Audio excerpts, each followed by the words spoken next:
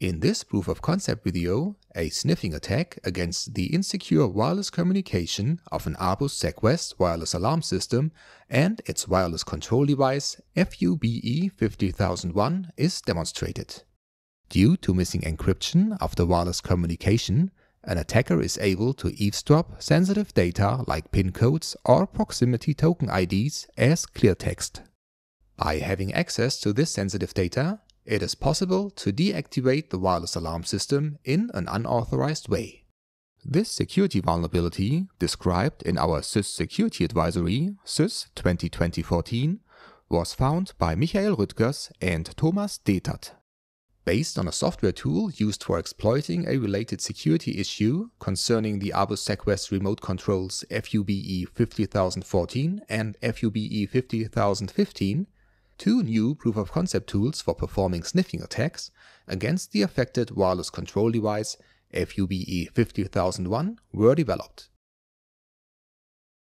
Here you can see the used test setup with an ABUS SegWest wireless alarm system, a wireless motion detector, the wireless control device, and a Yardstick 1 connected to the attacker system. In order to eavesdrop on the wireless communication of the alarm system, the attacker simply starts our developed Python tool. This pin sniffer proof of concept tool listens for specific ABUS data packets on the correct 868 MHz radio frequency used for the wireless communication. Thus, when the alarm system is armed via the wireless control panel, the attacker can receive and decode the corresponding data packet in order to gain access to the used clear text pin code.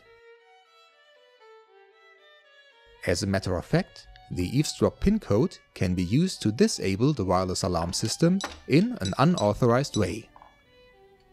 The system is unset.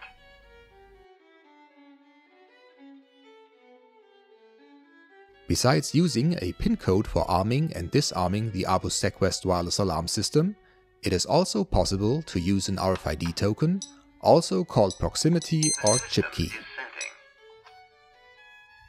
For eavesdropping on the wireless communication, the attacker simply starts another developed Python tool.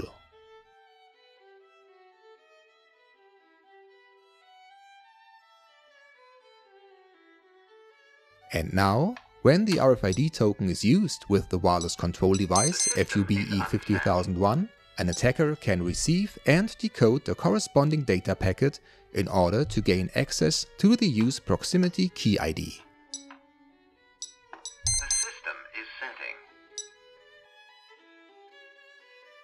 By knowing this ID, it is possible to create a cloned RFID token. Here, you can see the attacker's blue proximity key without having the correct programmed ID.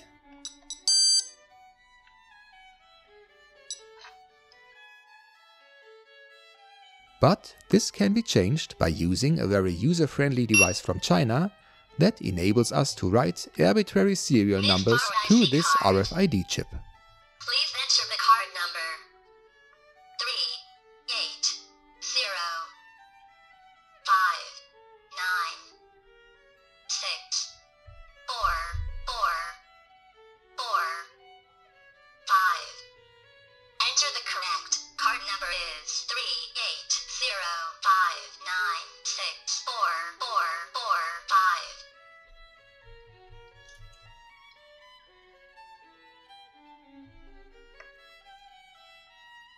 success.